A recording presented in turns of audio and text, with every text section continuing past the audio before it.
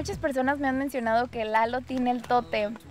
Pero no sé, no estoy tan segura porque de verdad cuando estábamos en el campamento amarillo, él siempre estuvo concentrado en su trabajo. Era muy raro verlo ah, desaparecido o algo así. Entonces yo no creo que lo tenga. Si, si neta lo tuviera Lalo, o sea, es- está en otro mundo ese, ese brother. No, est- estaría, estaría en otra dimensión ese tótem.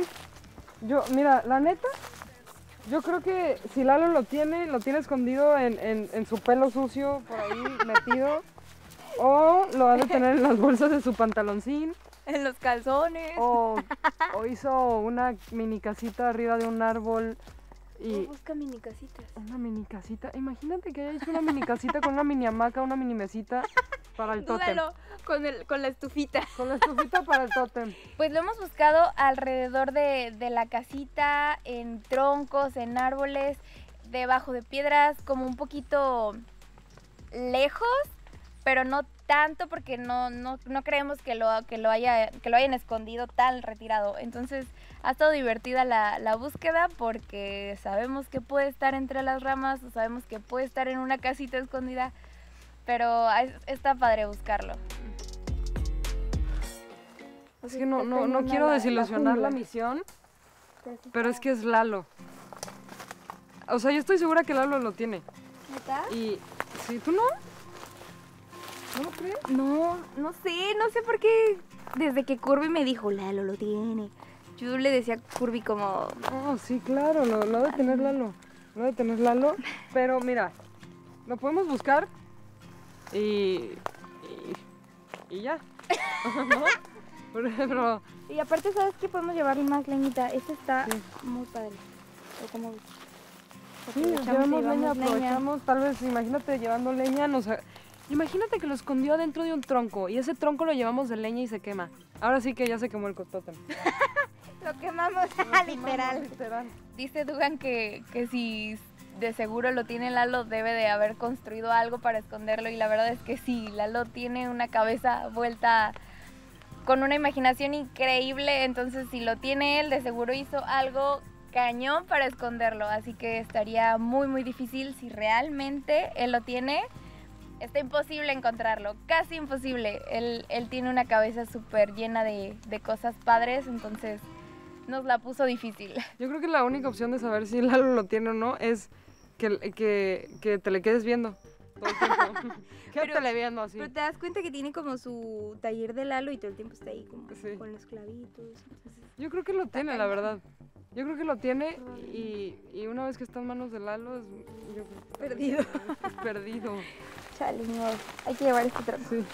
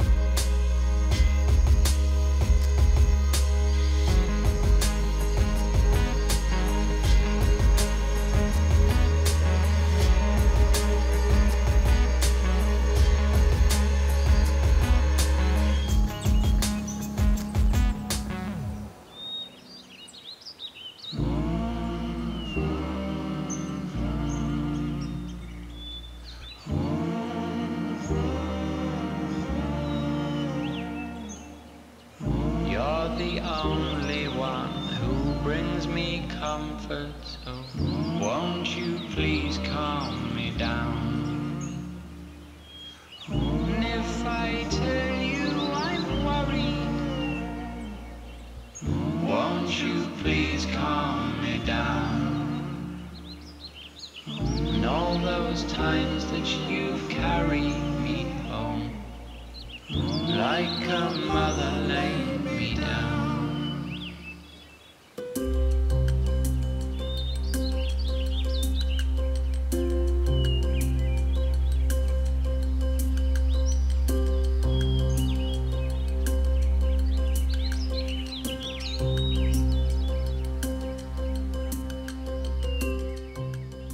Ahora despierto y lo primero que hago es meterme un mango a la boca. Entonces, pum, comí un mango y de pronto fui a ver la reserva de mango, estaba con Dugan. Y cuando fui con Jero a ver la reserva y Dugan, ya no había mangos. O sea, ya, nos quedaban como tres mangos. Y dijimos, chan, chan, chan, ya no hay comida. Lo peor de todo es que ya sabemos que los árboles ya no tienen mangos. Pero seguimos tratando de rascarle a ver qué árbol tiene, a ver cómo le hacemos.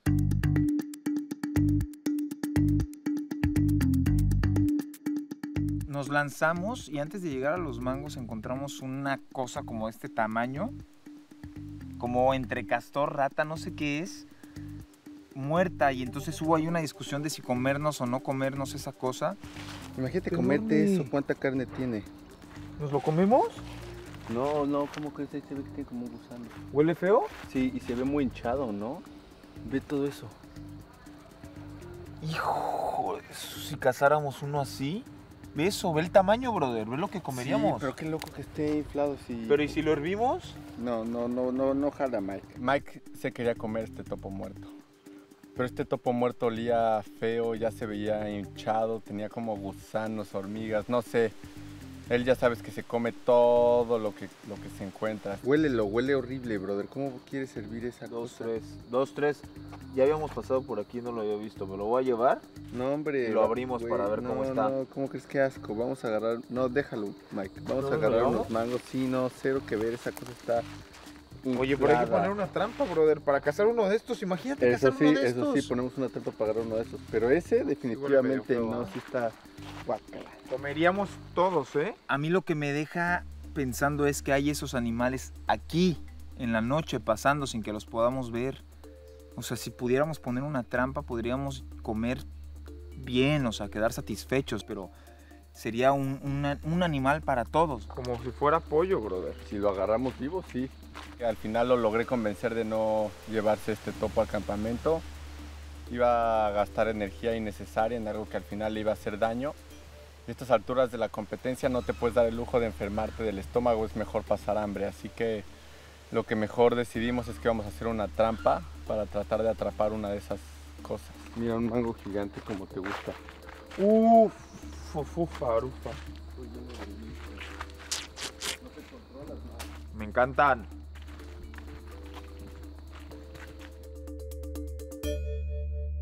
Me preocupa que ya no veo mangos, Mike, nada de mangos. O sea, se terminan los mangos, es lo único que comemos. ¿Qué vamos a hacer, brother?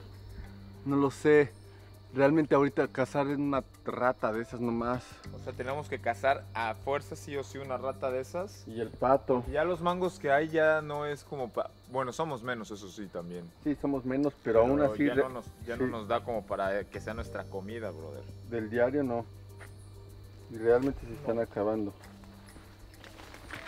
Hijo viejo, si regresamos con pocos mangos a la casa va a ser algo muy triste. Vamos a regresar con pocos, pero algunos. Vamos a Es, es mejor que nada. Esta mierda no sé qué tal vaya a funcionar. El último que encontramos, el último de los árboles de mango, tiene los que estaban tirados ya estaban comidos en su mayoría, podridos y me da mucha nostalgia porque es como un, híjole, ya se está yendo y si hubiéramos llegado un poco antes quizás hubieran estado buenos estos mangos. Todo o nada. Es bajar mangos o morir. O Mike de la selva de escalar. Mike de la selva subir. Ya me voy a trepar entonces. Haré una rama más abajo, voy a tratar con esa primero. En lo que le agarro bien la onda a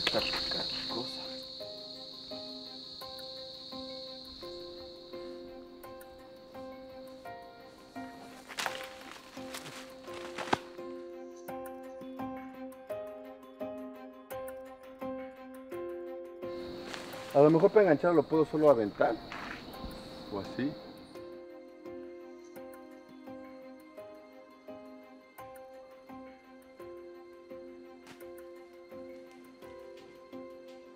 Y al final recolectamos los mangos y dentro de estos, pues muchos de los que fuimos encontrando estaban mordidos y podridos o Muchos los tuvimos que dejar porque ya estaban totalmente descompuestos, ¿no? Es que mire, estos son los mangos que ahorita estamos encontrando, brother. Sí, si, si hubiéramos venido ayer, estarían perfectos. O sea, si hubiera, exactamente, si hubiéramos llegado antes no estarían así, caray. A ver, voy a tratar de subir pues. Sí, es un buen brinco, ¿eh? Es un buen brinco. Primero, no puedo brincar mucho por la rodilla. Vale. Ajá. ¿Qué? No, bro, no da. Al dar el brinco, ¿ah? Ajá. Cuando yo traté de subir al árbol y brinqué para ver si alcanzaba a agarrarme de la Y que necesitaba agarrarme para subir, la verdad es que sentí un, un clac así en- entre, entre los huesos. A ver, Venga, papá. ¡Ah! ¡Ah! ¿Qué? La rodilla. Ah, sí, la rodilla. ¿Cómo está? No, Destruida. Del brinco, ¿verdad? Es que estás frío Sí, es aparte. que no, no, el tema es, o sea, esta fuerza, este, ese impulso es, tiene- genera mucho descontrol. bro. Y es un, espérate tantito porque estás compitiendo y no te puedes lesionar más y lesionar más. Ya a estas alturas de la competencia tengo que ser lo más práctico y lo más rápido, y porque ya todos los- mis compañeros son muy fuertes, todos los competidores, ya no hay competidores fáciles, y yo con una rodilla lesionada, pues esa desventaja no puedo hacerla más grande, tengo que seguir apretando. Lo que puedo A ver, ¿está hacer es-? Sí, de atrás trae una bola. ¿Es esa bola que trae? Sí, esta de aquí. Híjole, viejo, es como líquido. Lo que podemos hacer es que te haga como pie de ladrón, Está bien. A ver, o logras subir de brinco. no sé. Yo por eso quería que subieras tú. Ah, A ver, ayúdame con... Espérate, Está- es que está enorme este... espérate en esta rodilla.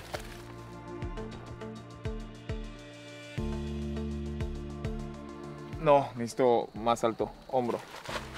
Ahí está hombro ya. Agáchate un poco. No logré subirme al árbol y le tuve que pedir a Mike que se subiera a él, pero pues bueno, me usó como escalera y así lo logró.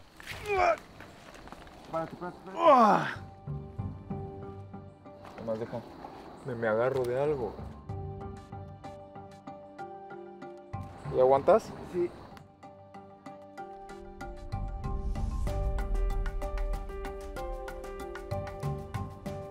Ponte atrás por si me caigo, porque esto está hueco. atrás.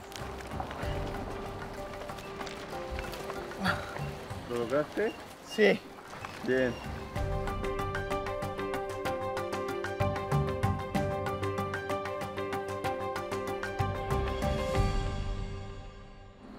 ¿Sabes dónde puedes tirarla? ¿Qué? ¿Dónde? Voy. Mírame. Es que- ¡Ah! ¡Ah, carajo! ¿Qué? ¿Qué? ¿Dónde? Sácate.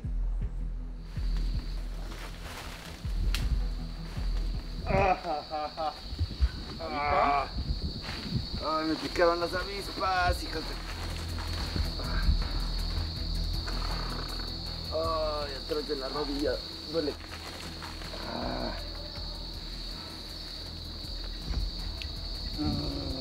Ahí voy.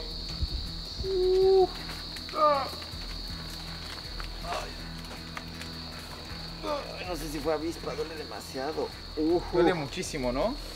Sí, güey, pero más que avispa. Porque ya me han Sí. Ah, ya me han picado mil avispas y no se siente así. ¿Qué, qué, qué crees que haya sido? No sé.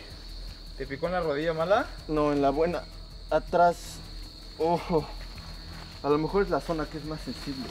Ay. Ah.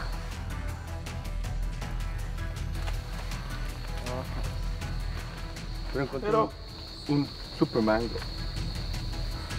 Una avispa detrás de la rodilla izquierda, que no es la lastimada, pero duelen horrible. Y aparte me picó como en el tendoncito del lado izquierdo, o sea, en el tendoncito, la las cuerditas, me picó en la del lado izquierdo y uff, duelen horrible esos piquetes. Aparte como que queman, arden y después van a dar muchísima comezón el día de hoy. Va a ser un día fuerte. No encuentro de los manos que tiraste. Estoy muy alto, pero, o sea, bueno, no, pero no quiero que... ¡Ven, ven, ven! No sé qué hay allá abajo. No sé si hay ramas o qué. Ayúdame.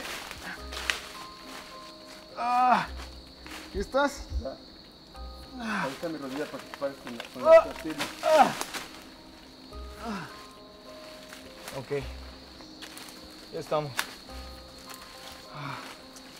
Este. Dátelo. Hay algo igual. Oye, pero no encuentro los que tiraste. O sea, recogí tres o cuatro. No, cayeron más. Es que sí vi que se metían entre las plantas.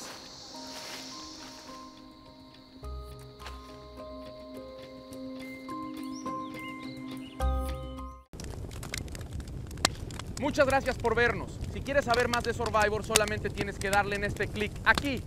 Y un poquito más, aquí o aquí.